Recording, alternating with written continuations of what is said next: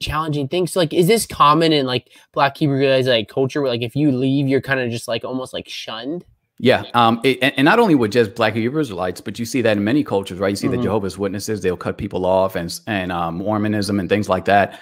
I know a couple of people who've been cut off, but yeah, this is a common thing uh, with the Hebrew Israelites because what they're trying to do is get you to think that they have the truth, and that's the only place you can attain it. And if you leave them, then in fact, in, in actuality, they try to convince you that you left God. Therefore, mm-hmm. they're making themselves God and committing idolatry in the process because they're, they're saying that you can't have a relationship with God outside of our congregation.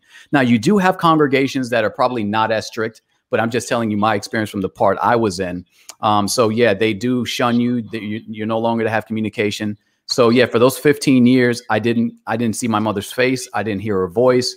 I didn't see my sisters grow up. Uh, they basically shunned me and didn't want to have anything to do with me.